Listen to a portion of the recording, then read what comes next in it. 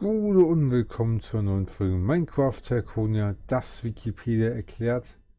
Wir sind heute auf Oreo und wenn ihr wissen wollt, wie man so einen schönen Baum wie diesen hier bekommt, dann bleibt dran.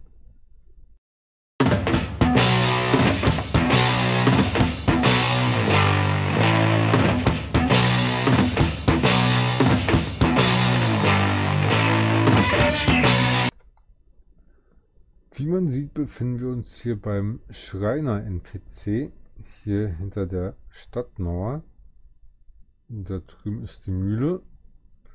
Und wir laufen jetzt zu dem kleinen Haus da drüben. Denn dort geht es in die Baumwelt Jahela. Dann ist mal hier auf der Karte ein wenig sieht. Da sind wir aktuell.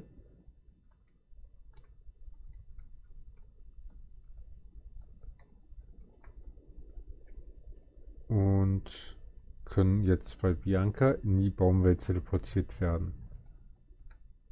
So. Chahela Baumwelt. Hier gibt es verschiedene Baumarten. Birke, Schwarzeiche, Schneefichte, Fichte. Zweimal Eiche, Palmen, Tropenpalmen, Akazen, Tropenbäume. Um euch das jetzt einmal vorzuführen, wie das funktioniert, noch so ein Aufgang, sehr schön. Ähm, bei Palme habe ich eigentlich nicht bei mir zu setzen, deshalb lassen wir das mal sein mit den Palmen.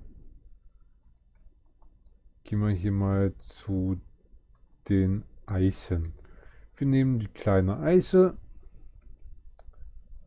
Ähm, dazu muss gesagt werden, ähm, ihr könnt jeder kann hier mit Fly fliegen in der Baumwelt. Jeder Baum besitzt ein Shopschild, wie man sieht. Und mit dem Kauf bekommt ihr ein Stick. Baumsetzer, kleine Eiche, ID 15.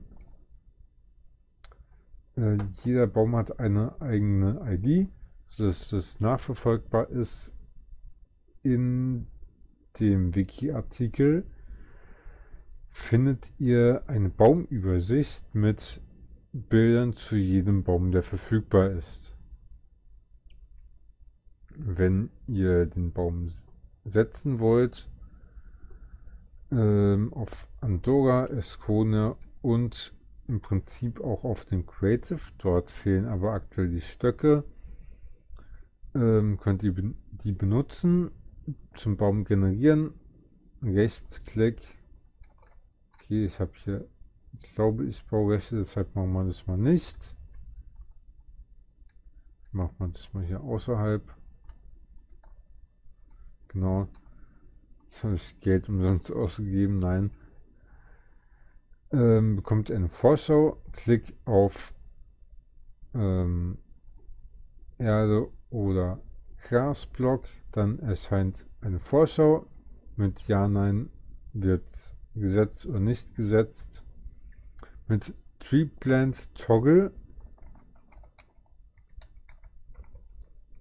könnt ihr diese Abfrage ignorieren und die Bäume werden automatisch gesetzt. Das entferne ich mir jetzt aber einmal, sonst habe ich 19 neuen S-Kronen so rum in den Wind geschossen.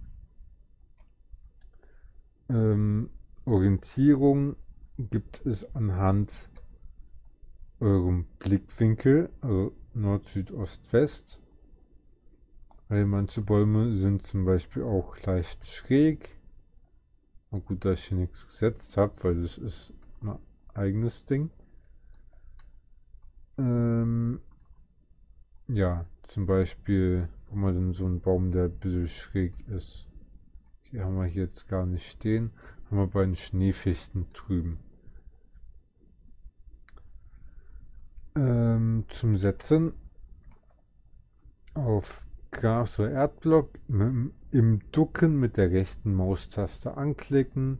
Der Baum erscheint. In der Vorschau Ja, Nein klicken oder äh, Tree Plant Toggle zum Direktsetzen. Alle natürlichen Blöcke werden ersetzt, die sich im Weg befinden. Sollten andere Blöcke den Platz versperren, erscheint eine Fehlermeldung, welche diese Blöcke im Chat auflistet. Auf Ja oder Nein klicken. Innerhalb von 20 Sekunden wird automatisch Nein festgestellt. Und die Stöcke sind immer nur einmalig nutzbar. Und ja, wie gesagt, im Wiki-Artikel ist eine Übersicht über alle Bäume. Genauso gut könnt ihr aber auch hier nachschauen und dir kaufen. Und ja, jetzt noch ein Beispiel für so einen schiefen Baum. Wäre der hier. Je nach Blickrichtung schaut er dann in eine andere Richtung.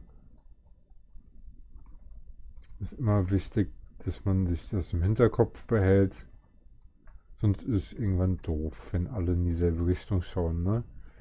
So, das war es auch schon. Ich stelle mich mal hier schön in Sonnenschein rein.